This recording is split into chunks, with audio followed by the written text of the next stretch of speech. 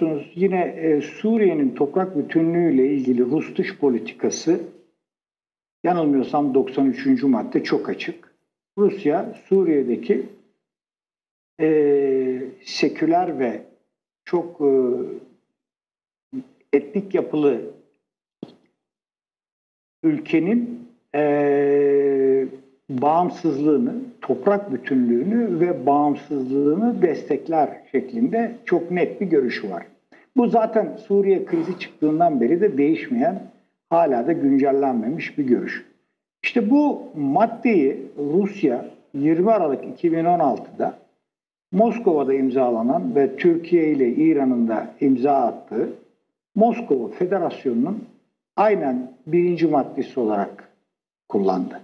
Yani bu üç ülke Rus dış politikasının temel konseptini Suriye'deki yol haritasıyla ilgili olarak ana prensip olarak belirtti. Zaten Astana süreci de bu Moskova Deklarasyonu'nun 7. maddesiyle kuruldu.